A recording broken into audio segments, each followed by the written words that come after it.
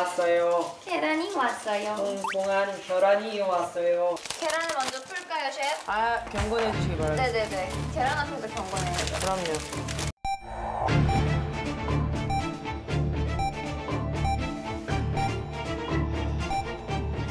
여덟 개.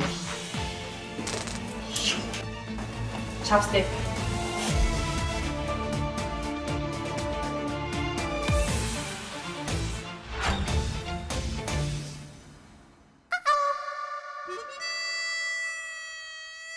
저희가 이렇게 모인 이유가 있죠. 약간 좀 한국적인 게 조금 땡기지 않아요? 그죠? 안 그래도 너무너무 땡겼어요. 맞아요. 네.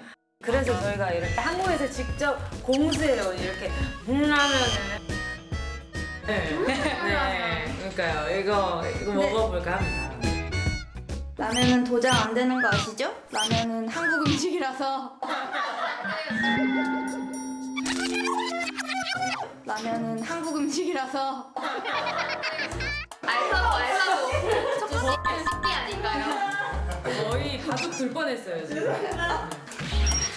저희는 현지 음식에만 도장 찍어드리기 때문에 한국 라면 안 돼요. 그래서 저희가 이제 회심의 일격으로 이제 맞습니다. 비장의 무기로 네. 제가 스페인 현지 계란 여덟 알을 준비를 했어요. 네.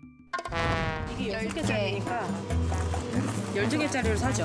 네네 넉넉하게. 넉넉하게 사서 일단 저희가 먹을 거 먹고 이제 남는 거는 우리 스태프들을 만들어 주는 네네 그럼 일단 어머 그럼 안 돼. 8, 7, 6, 5, 4. 아, 끝입니다, 끝입니다. 이 먹으면서 있거든요?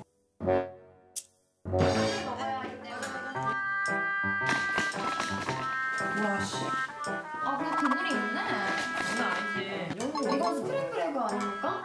브런치를 스페인 사람들이 먹는다는. 그럼요, 라면 스페인 분들이 스크램블. 즐겨, 드, 즐겨 드신다고 하더라고요. 그죠, 거의 그죠. 로컬 푸드라고 하더라고요. 그죠? 자, 먹어보도록 하겠습니다.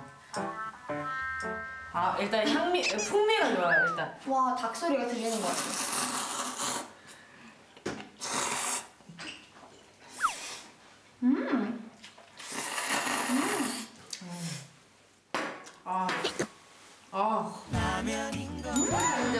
인정. 인정이죠. 아, 라면은 전 세계 어디 갖다 놔도 아, 근데 진짜 국물이 예술이다. 굉장히 매력이 있네요. 되게 라면이 아니라 건강식 먹는 느낌이고. 계속해봐. 계속해봐, 계속해봐. 에그 베네딕트를 먹는 느낌. 아이쿠.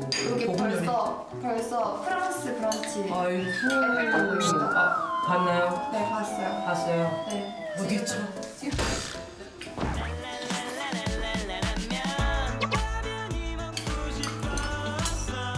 Cheers. 아 진짜 맛있다. 아,